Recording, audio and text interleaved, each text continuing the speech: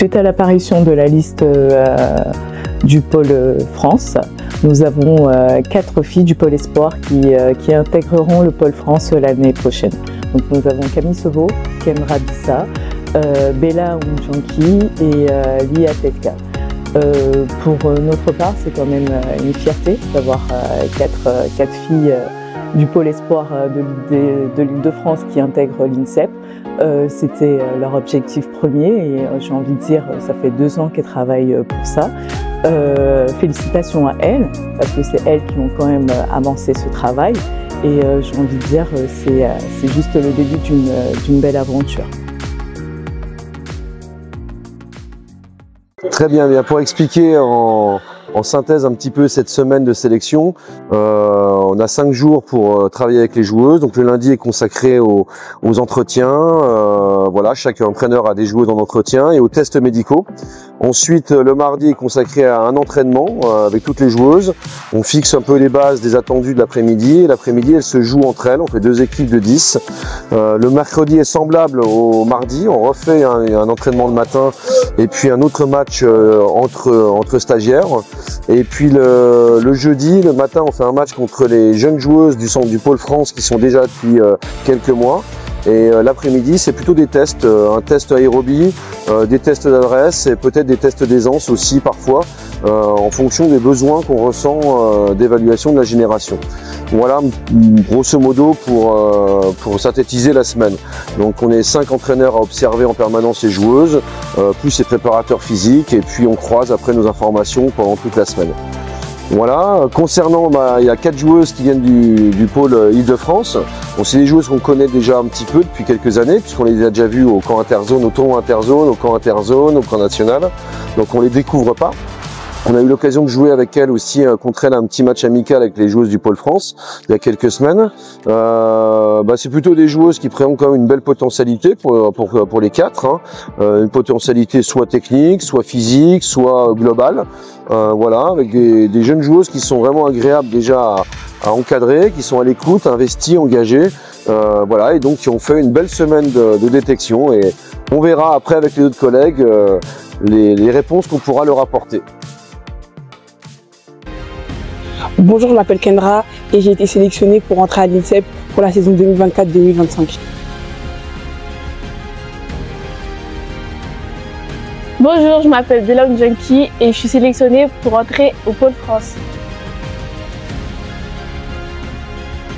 Bonjour, je m'appelle Lia et je vais intégrer euh, le Pôle France à la rentrée. Je suis contente et euh, je suis fière de représenter l'île de France. Bonjour, je m'appelle Camille et j'intègre le Pôle France pour la saison 2024-2025.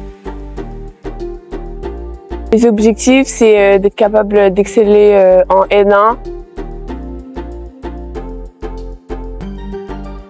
L'objectif pour la prochaine saison, c'est de dominer la catégorie NF1 et de améliorer mes lacunes. Je suis contente de rentrer au Pôle France et ne euh, faudrait pas que je lâche et je vais tout donner.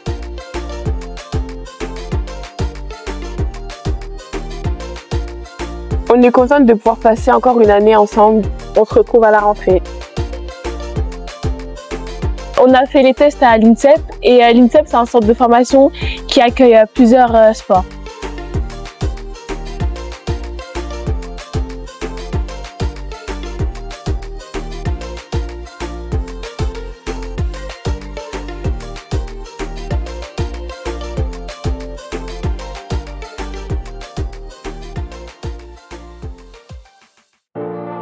Donc euh, pour revenir au, la liste des joueurs retenus sur le pôle France, c'est vrai que nous avons la chance d'avoir un joueur euh, membre du pôle cette saison qui est retenu en la, personne de Brandon Muela, un garçon qu'on a qui a intégré le pôle à la rentrée après avoir euh, été découvert la saison dernière sur les, les tournois intercomités.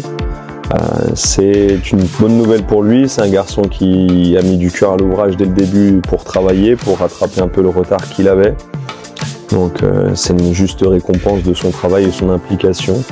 Maintenant il faut qu'il continue lui à, se préparer, à rentrer au mieux pour la rentrée et ainsi euh, bah, rester le plus longtemps possible sur le pôle France et progresser puisque c'est tout ce qu'on lui souhaite et, qu'on est fier de, son intégration sur le pôle France. À semaine, j'ai appris qu'il intégrait le pôle France euh, dès l'année prochaine Et mon ressenti sur ça, et bah, je pense qu'il faut pas que je me relâche parce que j'ai encore plein de travail à faire avant de rentrer. Et bah, je vais essayer de, avec l'équipe de chercher l'équipe nationale. Mes intrigues par rapport à la rentrée à l'INSEP, c'est déjà le rythme et le relâchement que je devrais pas avoir dès l'année prochaine. Euh, du mois de mars, on a toujours un, moment important de la détection avec le tournoi intersecteur U14. C'est pour nous un vrai temps fort de notre détection et surtout de notre évaluation des joueurs qui sont nés en, 2010 et donc qui ont intégré le pôle depuis euh, cette saison. On avait donc sur ce tournoi 13 joueurs du pôle et 7 joueurs de l'extérieur. Ça a été euh, donc un moment d'évaluation des garçons qu'on a au pôle et un moment d'évaluation pour d'autres joueurs qui pourraient être amenés à intégrer le pôle à, la rentrée de 2024. On avait fait donc deux équipes assez équilibrées et homogènes. Les rencontres ont été intéressantes. C'est l'équipe d'Île-de-France 1 qui l'a emporté et l'Île-de-France 2 a fini euh, troisième. c'est surtout aussi la manière dont les garçons se sont comportés et la qualité du jeu qu'ils ont essayé de produire qui a été intéressante. Donc euh, dans l'ensemble, c'est un, moment de moment intéressant et c'est surtout aussi intéressant pour les garçons de jouer dans leur catégorie euh, d'âge, donc euh, puisqu'ils sont toute l'année dans une catégorie avec des joueurs qui ont un an de plus. Donc ça permet aussi de prendre la confiance pour ces garçons et de les relancer sur le travail après ce moment-là.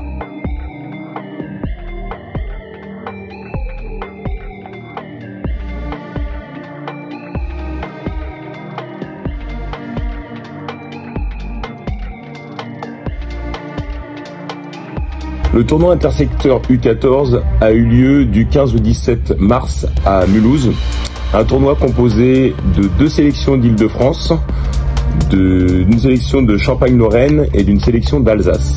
Euh, un classement anecdotique, euh, les deux équipes Île-de-France ont fini premier et deuxième, l'Alsace a fini troisième et euh, l'équipe de Calor quatrième. Quels sont les objectifs de, ce tournoi? Bah, le premier objectif sera de sélectionner 12 joueuses pour le camp intersecteur qui aura lieu à Reims du 4 au 7 juillet. Voilà, durant ce camp, donc il y aura les 12 joueuses de l'Île-de-France et il y aura une sélection du Grand Est, donc parmi les, les filles de, de l'équipe de Calor et d'Alsace. Le deuxième temps, euh, c'est quand même un moment d'évaluation pour les joueuses qui sont au pôle pour euh, voir leur progression par rapport aux joueuses bah, qui sont de leur génération et qui n'ont pas eu la chance de rentrer en structure. Et le troisième temps, euh, c'est aussi un moyen pour nous de, de, faire rentrer des filles et de proposer à des filles de rentrer pour une année au pôle. Euh, surtout avec euh, le passage à 24 joueuses euh, l'année prochaine. il y aura sûrement 4 ou 5 filles qui seront amenées à pouvoir rentrer au pôle pour l'année prochaine juste pour une année.